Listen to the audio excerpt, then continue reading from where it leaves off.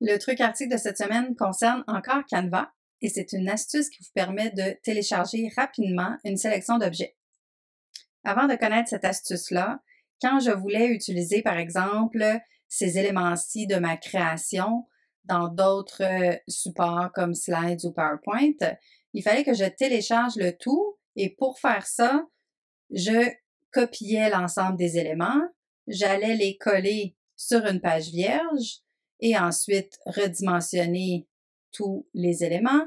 Après, je cliquais sur le bouton Partager et Télécharger, bien sûr en cochant l'option Arrière-plan transparent. Et après ça, il fallait que j'ai décoché toutes les pages pour aller sélectionner la page actuelle et ensuite terminer pour télécharger seulement les objets qui ont été sélectionnés.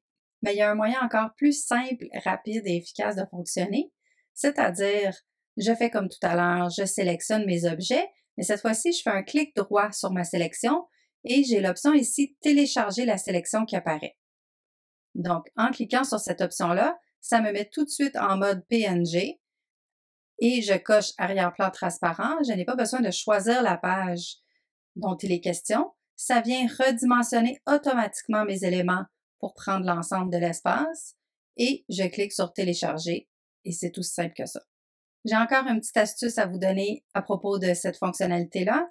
C'est que si, par exemple, je voulais seulement conserver la photo en tant que telle sans l'arrière-plan, si je fais un clic droit dessus, l'option de télécharger la sélection n'apparaît pas.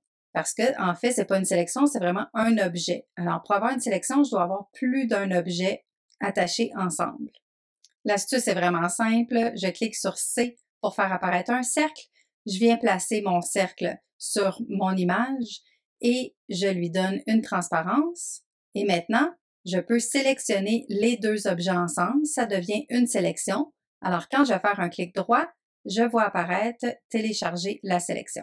Voilà, c'est tout pour le truc article de cette semaine. J'espère qu'il vous a été utile.